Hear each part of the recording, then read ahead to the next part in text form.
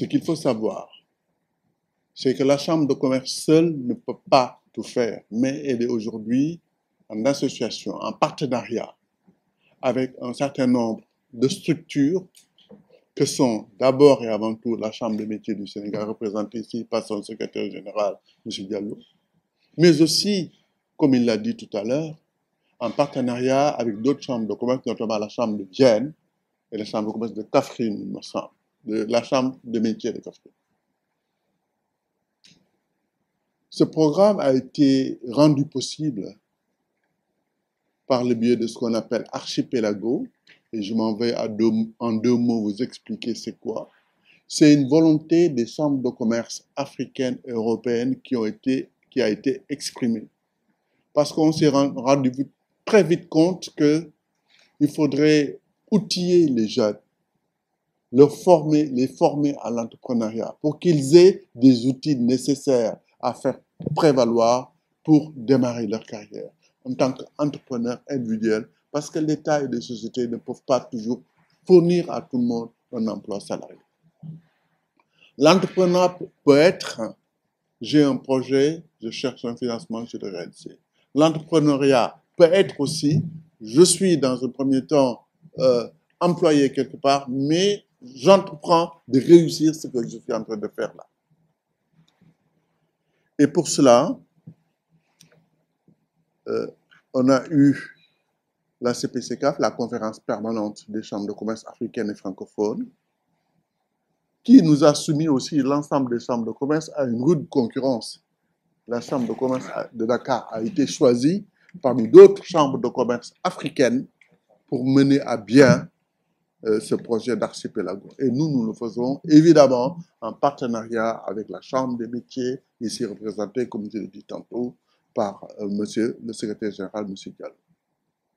Des compétences ont été recrutées, ont été mises à disposition par la Chambre de commerce et je profite de l'occasion pour remercier toutes les compétences de la Chambre de commerce qui ont euh, servi à cette formation. Nous avons été financés par l'Union européenne et des compétences françaises que je remercie au passage parce que Archipelago a été une idée, mais financée par l'Union européenne au profit des jeunes Africains je dis bien africain, pour la formation à l'entrepreneuriat. Si vous prenez le Sénégal, qui, est là, et c'est la même chose dans tous les pays africains, les jeunes qui arrivent sur le marché du travail sont éminemment plus importants que le nombre d'emplois générés par nos économies qui aujourd'hui sont des économies en voie de développement ou bien en voie d'émergence. Ça dépend où est-ce qu'on met le curseur. Donc il est bon que nous outillons les jeunes aujourd'hui à avoir confiance en eux pour pouvoir entreprendre demain.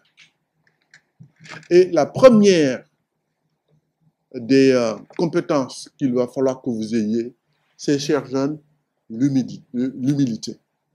Quelle que soit la formation que vous avez, quand vous arrivez ou vous voulez entreprendre quelque chose, dites-vous d'abord et avant tout que je ne sais strictement rien. Et c'est au moment où vous dites ça que vous allez commencer à apprendre quelque chose. Mais si vous venez pour pas dire, ouais, moi j'ai fait la, formation à la chambre de commerce, j'ai mes attestations, je suis hyper diplômé, tout ça, etc., vous direz nulle part. Donc le conseil que je vous donne, c'est un conseil d'humilité d'abord et avant tout. Savoir plonger sans faire de bulles. Quand vous êtes dans un environnement, vous avez été ensemble pendant quatre jours, vous avez échangé certainement les, les, expériences acquises des uns et des autres. Et donc nous, pour avoir travaillé pendant deux ans dans ce projet d'archipelago, nous savons que les jeunes qui, se réunissent ici, quand ils partent ici, ils sont un peu plus outillés euh, qu'avant qu'ils ne rentrent en formation. Donc, en vous remettant ces attestations, nous sommes certains que vous ferez partie des jeunes qui, demain, pourront entreprendre et réussir. Il faut avoir, comme il le disait tout à l'heure, M. Diallo, confiance en vous. C'est le premier step. Il faut avoir de l'humilité, c'est le deuxième step. Et puis maintenant, il faut avoir des bagages. Et les bagages que vous avez, vous les aurez tous les jours un peu plus. quand on, quand on se dit en venant que chaque jour, toute personne que je rencontre, je cherche à savoir quelle soit de cette personne-là, à avoir une expérience de cette personne-là, vous vous enrichirez tous les jours. Entreprendre, c'est évidemment pas facile, mais ce n'est pas impossible.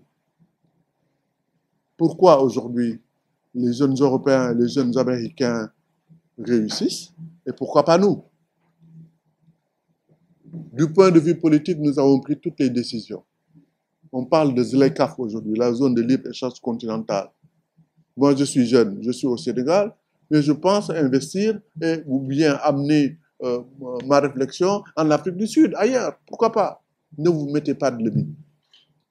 Donc, aucun complexe pour, pour vous, pour agir. En tout cas, de ces quatre jours de formation, il me semble que vous avez acquis un certain nombre de fondamentaux qui vous permettront demain de les faire prévaloir pour réussir ce que vous êtes en train de faire. Et n'oubliez jamais, jamais, jamais la formation continue. Parce que tous les jours, on apprend. Et tous les jours, on fait ce qu'on appelle la formation continue. Ça peut être sur le terrain, ça peut être en vous abonnant tous, que vous êtes sur vos réseaux sociaux, sur les WhatsApp et des choses comme ça. Il y a des sites qui vous permettent toujours d'améliorer hein, ce que vous avez appris ici. Donc vraiment, c'est avec beaucoup d'espoir que nous allons vous remettre votre attestation de formation en comptant sur vous pour aller enrichir encore davantage la horde des jeunes qui entreprennent et qui réussissent.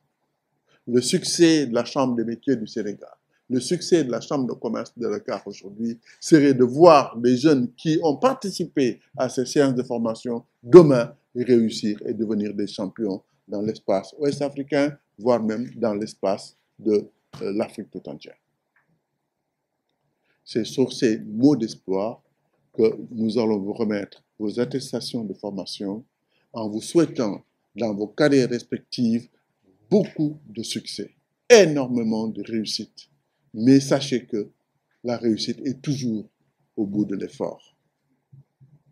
Il faut faire des efforts toujours faire des efforts, encore faire des efforts pour arriver à la réussite. Et la réussite aussi, c'est une réussite avec un grand R. Et dans cette réussite, il y a plusieurs petites réussites autour. Ne négligez rien. Il faut réussir sur soi-même, il faut réussir dans sa famille, il faut réussir autour de soi, il faut réussir dans son travail. Et toutes ces petites réussites vont constituer ce qu'on appelle la réussite avec un grand R. Donc, je vous souhaite, ces récipiendaires, bon vent dans ce que vous allez entreprendre. Et sachez que la Chambre de métier et la Chambre de commerce seront toujours là pour vous donner les conseils nécessaires et vous aider à réussir dans votre plan de formation